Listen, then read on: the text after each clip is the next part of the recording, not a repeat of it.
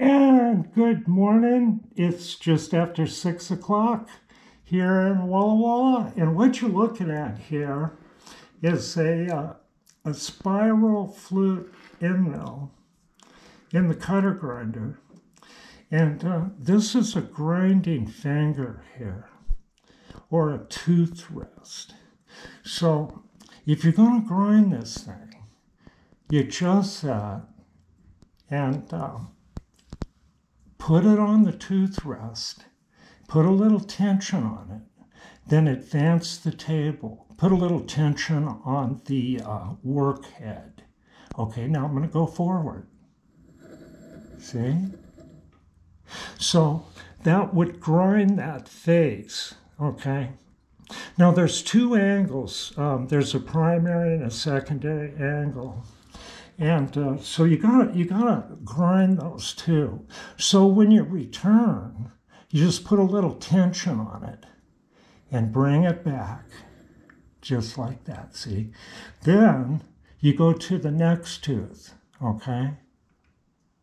Then you get it on there, not too tight, not too loose, and then push it through, and it grinds. See, rotates that and grinds it. All right, isn't that cool? It's really quite simple.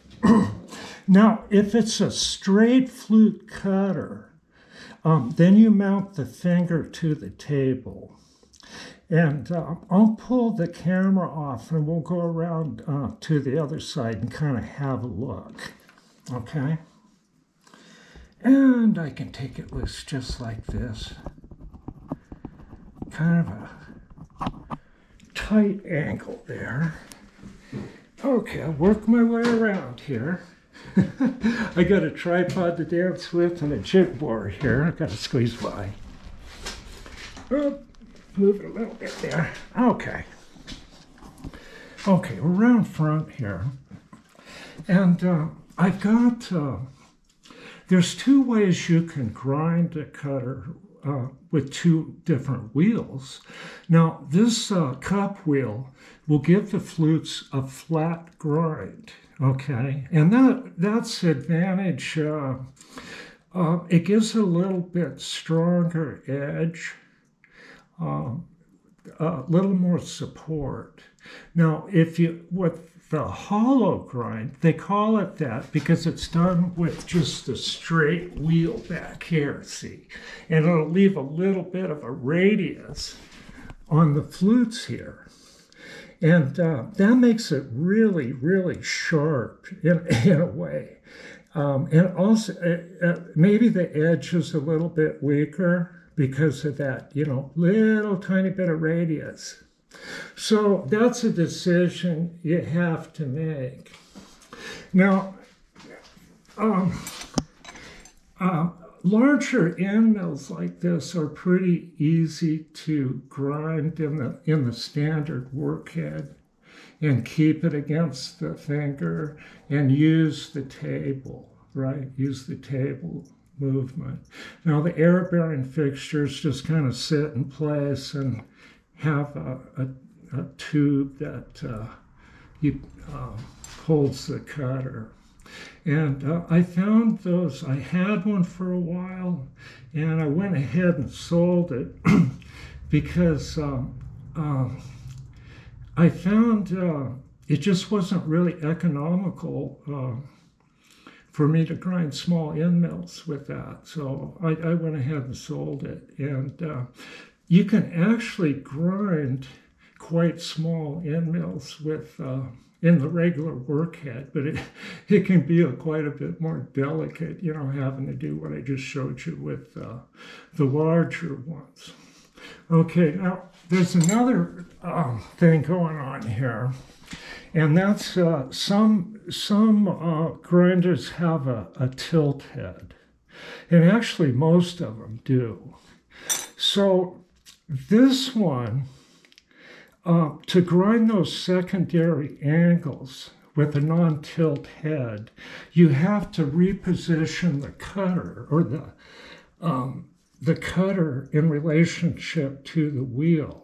and they called it an indicator drop method. And uh, it's, uh, it's explained here in the Cincinnati manual. Let me get this over here. Um, let me see if I can find that. Now, I, this is, uh, um, I got the service and parts list for the, for the old, old um, bunch of notes and stuff. This from a long, long time ago. See, this is uh, uh, similar to the one I have. It's even got power cable feed. And I don't know how available these uh, manuals are. Um, but here's all the stuff. But you get back here, and I got the operating instruction manual um, for both the uh, tilt head and the fixed head like that, which I think this is kind of cool. And uh, I think it's 5.8 I'm looking for. We'll see. Back in here, what I wanted to show, here's all the accessories. I, I find I don't need a whole lot of that stuff. And uh, I just uh, really need a, a, a good standard work head. That that's really important with uh, with the Cincinnati. Okay, now we're getting in the cutter sharpening. Um, uh, you know, talking about uh, just basic uh, lining it up. Now, when we get back here, um, grinding, uh, you know, shows how to set up your arbors. And you know, here's a tilt head here. So they're talking about both of them, and I kind of like this manual for that. But I have to say, this is the only uh, Cincinnati manual uh, that I've ever looked at. It talks about uh, building cutters here, or early cutters that the carbide or or uh, high-speed steel was actually wedged in there with metal wedges and it talks about sharpening those things. I, have never seen a cutter like that. Okay, here's, uh, they start talking about the indicator drop method. So you, you put an indicator on the cutter and, uh, and uh, drop it. And there's a table here so you don't, uh, here they talk about the flat grind and the hollow grind examples. Okay, producing a clearance angle with the face of the grinding wheels. So we're starting to get into this um, drop method. Let's see, too many pages. Here's the chart. Okay, this is uh, H offset dimension, cutter clearance in degrees. So you find your degrees here, then it tells you how uh, in, in thousandths of an inch how much to offset uh, your cutter head from center line to get those uh, clearance angles with the non-adjustable head okay so that's how it's done with the non-adjustable head. You got to do this. But uh, you know the uh, fully adjustable head you just set it to the angle. So that makes it quite a bit easier. Now, um, you've, um, in an earlier video, I showed um, my homemade tool post grinder that I did build with precision bearings, and it's a pretty awesome little thing. I'm going to get more into that as it's been requested to uh, show how I built that and stuff, and I'll get into it more. But anyway, it can uh, be attached here to the top. And any tool post grinder, for that matter, uh, can be attached to the top of these. And then you can use that as a tilt head or also um, do internal grinding like I uh, showed on earlier videos. So uh, this um, is basically just a, uh, um, a basic tooth rest here. And uh, I think this is a factory one. It's a piece of carbide. Uh, somebody broke it and braced it back together, but it works just fine. Now, this device here I can show that. Uh, this was built, shop built at one time uh, out at Hanford, I'm sure.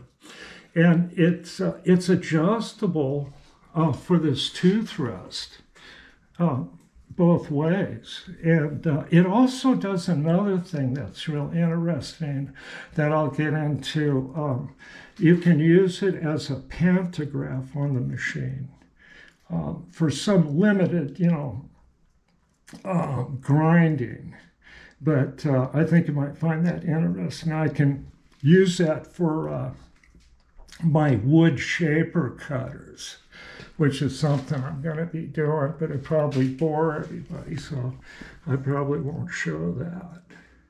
But uh, I thought I would uh, just kind of touch on some of this stuff and uh, uh, talk about what I do with it. You know, I mean, I can, uh, this uh, cutter here I salvaged, and uh, I got some more down here too.